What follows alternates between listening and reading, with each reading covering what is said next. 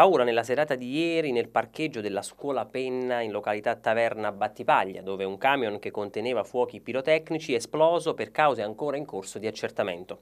Sul posto si sono recati volontari della protezione civile di Battipaglia con gli estintori in dotazione agli automezzi per evitare il coinvolgimento delle altre autovetture e per isolare l'area interessata dall'esplosione. Aggiungere sul luogo dell'accaduto anche i vigili del fuoco, i carabinieri e gli artificieri che hanno provveduto a recuperare i fuochi inesplosi, il cui utilizzo era previsto nella nottata al termine della festa di Santa Teresa del Bambino Gesù.